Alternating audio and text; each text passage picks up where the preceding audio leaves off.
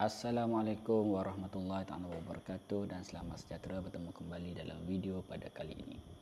Video pada kali ini saya ingin berkongsi dengan anda mengenai dengan uh, attacker.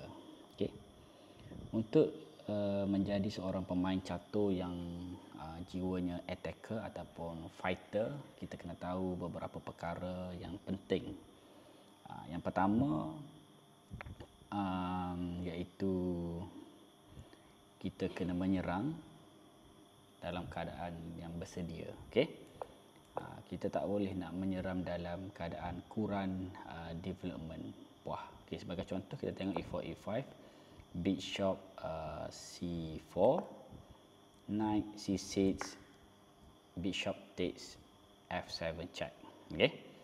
Ini kita attack terlalu cepat tanpa cukup bantuan pieces yang lain lah. Okay, kita datang dengan queen.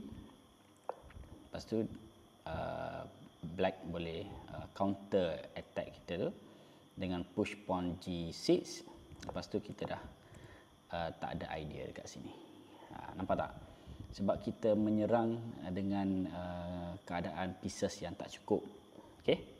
Okay, baik. Jadi kita apa perlu kita buat adalah uh, kita kena pastikan get ready semua pieces untuk menyerang. Okey, kalau kita tengok dekat sini uh, beza tadi uh, hitam keluarkan kuda. Ini kalau hitam keluarkan pawn kita develop knight. Okey, lepas tu hitam masih lagi gerak pawn. Dia dia tak keluar pun piece yang dekat belakang kan. Okey, dari sini kita dah uh, dari segi uh, develop pieces kita dah mendahului. Okey, lepas tu kita cuba sacrifice. Dia berbeza dengan position tadi, okey. Takes queen um, bishop takes king takes pawn uh, knight xe5 kalau king e8 kita ada queen h5 check kalau dia push pawn, kita boleh takes. Kalau dia takes balik, kita dapat rook. Okey? Kita ada perbezaan kat situ. Okey. Nampak tak? Okey. Okey, yang uh, kedua adalah um, kita dalam uh, posisi menyerang kalau boleh kita uh, jangan ataupun elakkan Ah, buat serangan uh, tanpa jaga petak tengah. Okey. Okey sebagai contoh kalau kita tengok King Gambit punya idea uh, dari segi control center dekat sini kita boleh tengok eh uh, putih mendahului uh, kawalan petak tengah. Okey. Uh, bila bila kita dah uh, control petak tengah barulah kita boleh atur serangan-serangan untuk serangan yang seterusnya lah. Okey. Okey baik, yang ketiga kalau kita tengok dekat sini adalah expose king. Ha, kalau kita tengok dekat sini sebagai contoh lah eh. Sebagai contoh bila dia push ha, kita bila dia dia push F6 ni sebenarnya dia dah uh, exposekan king dia. Dia dah dia dah uh, dedahkan king dia dalam ancaman. Okey. So kita control center bila dia push macam ni kita dah ada dah ada checkmate. Nampak tak? Bila king dalam keadaan uh, terbuka. Sebab tu f7 dengan f2 adalah pawn yang lemah. Dan kebiasaannya kalau kita um, tak faham konsep uh, king safety tu kita akan kena checkmate uh, mate in one uh, mate in three hand. Uh, jadi bahaya. Okey?